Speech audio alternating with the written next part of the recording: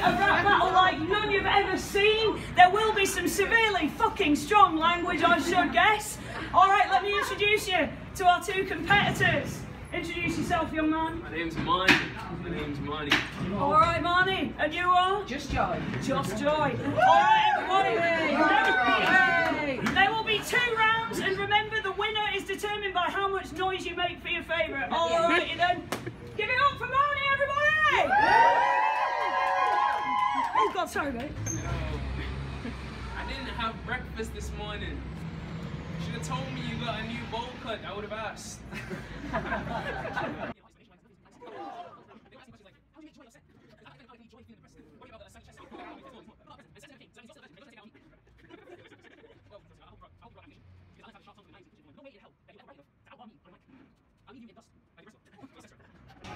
You don't yet know who you are. It's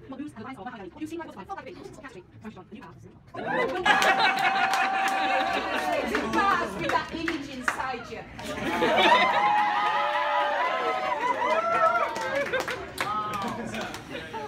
Oh man, this is